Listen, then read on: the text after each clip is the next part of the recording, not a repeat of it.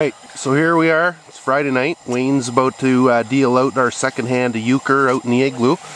Uh, it was too cold in the house, so we thought we'd come out here and play a game of euchre. There's Johnny. He's over there. Amy. And uh, there's me. I don't know if you can see me, but probably. Um, so yeah, we're playing euchre out in the igloo. Uh, kind of having a normal Friday night for us up here in uh, Lobo and uh, the Great yeah, White North. The Great White North. so this is what we do: play euchre, drink beer, and sit in the Stay igloo. cool. All right. So we'll uh, catch up with you a little later.